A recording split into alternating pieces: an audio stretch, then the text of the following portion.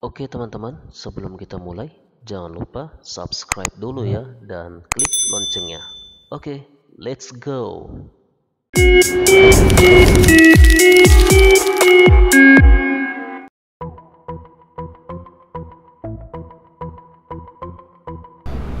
Assalamualaikum teman-teman, kembali lagi di channel saya. Kali ini kita akan belajar cara install driver printer Epson model L355 ya teman-teman. Seperti ini ya. Ini printernya. Oke.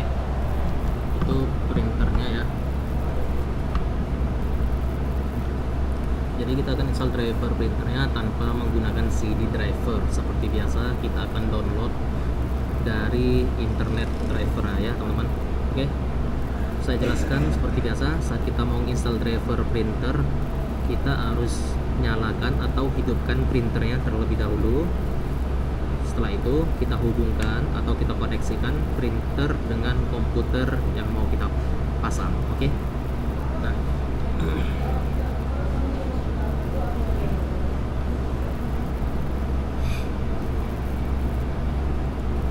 Seperti biasa langsung aja kita mulai ya.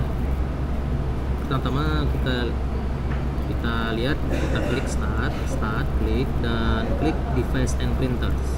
Nah teman-teman lihat di sini drivernya ini dia Epson L355 di mana drivernya masih di unspecified ya. Belum di printers and fax. Kalau dia udah kita install drivernya maka dia akan masuk ke printers and fax ini ya teman-teman. Ini karena belum kita install jadi dia tidak ada di sini.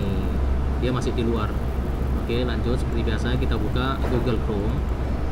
Ya kita buka Google Chrome kita ketikkan download driver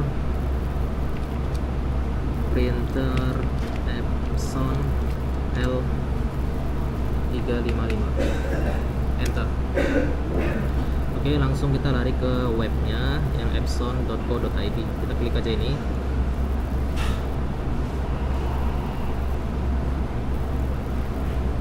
Seperti biasa untuk operating system sesuaikan dengan operating system komputer yang teman-teman pakai. Di sini operating system komputer saya menggunakan Windows 7 64 bit. Oke dan kita klik go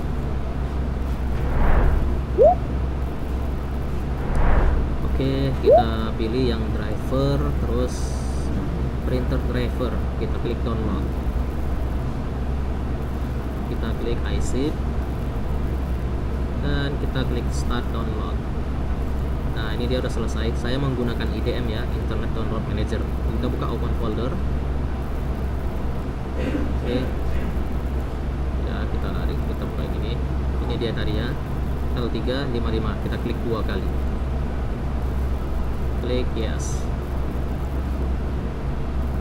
Oke setelah ini kita pilih dia masih di sini ya teman-teman. Nanti setelah selesai diinstal driver nih dia akan masuk ke sini. Ini kita klik OK. Kita klik ini English ya kita klik OK.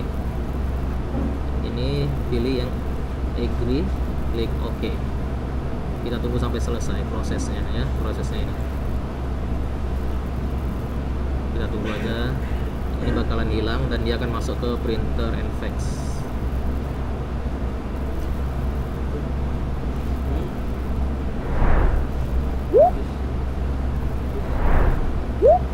kita tunggu teman-teman. Tuh udah hilang dia ya. Dia sudah masuk ke printer and fax ini dia. Ini bakalan selesai. Oke. okay driver komplit sukses klik OK ya ini dia teman-teman sudah selesai. Jadi seperti ini ya cara install driver printer Epson L355 semoga bermanfaat. Jangan lupa support terus channel ini dengan subscribe like dan klik loncengnya. Terima kasih teman-teman. Assalamualaikum warahmatullahi wabarakatuh